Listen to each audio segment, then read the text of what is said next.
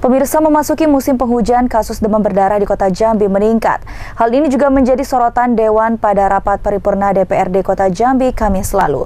Terkait hal tersebut, Wakil Wali Kota Jambi menuturkan pada musim hujan, setiap tahunnya memang kasus demam berdarah memiliki potensi meningkat. Pemerintah kota Jambi juga akan segera melakukan rapat pokjanal dalam penanganan dan pencegahan DBD di kota Jambi.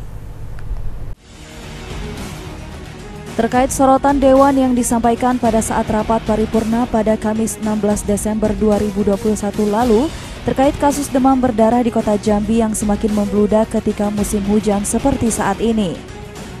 Menanggapi hal tersebut, Wakil Wali Kota Jambi Maulana menjelaskan, pada musim hujan setiap tahunnya memang memiliki potensi lonjakan kasus DBD dan dirinya mengatakan pemerintah kota Jambi akan terus melakukan penanganan serta pencegahan agar tidak menimbulkan kasus kematian akibat demam berdarah di kota Jambi. Maulana juga mengatakan dalam waktu dekat pihaknya akan melakukan rapat kelompok kerja operasional DBD. Dirinya juga mengatakan kota Jambi juga telah memiliki Pokjanal yang berada di bawah koordinasi Sekda Kota Jambi, Asisten Setda dan juga Dinas Kesehatan Kota Jambi serta melibatkan camat dan lurah dalam penanganan kasus DBD di kota Jambi.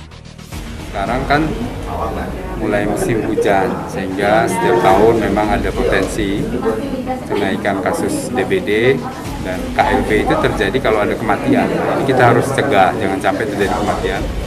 Maka insya Allah dalam waktu dekat kami akan lakukan rapat pokjanal DBD. Karena di kota ini sudah ada pokjanya sebetulnya di bawah koordinasi, sekda, ada asisten dan dinas kesehatan. Karena ini menyangkut eh, camat lurah juga, ya tidak hanya dinas kesehatan, tapi juga menyangkut kepala kewilayahan untuk 3M plus ya, mulai dari uh, sampah di drainase tidak boleh ada air genangan, termasuk menutup sumber-sumber air, abatisasi dan juga fogging. Jadi fogging adalah bagian kecil dari usaha itu, tapi penting ini. Memang alat-alat karena sudah lama tidak terpakai. Tahun lalu juga uh, eh, DBD agak kurang, tidak terjadi uh, ledakan karena mungkin semua fokus dengan COVID dan apa namanya tidak banyak yang keluar rumah ya. Anak-anak sekolah di rumah sekarang kan sudah mulai aktivitas, maka resiko penularan itu digigit nyamuk kan banyak di luar rumah. Lilis Karlina, JEK TV melaporkan.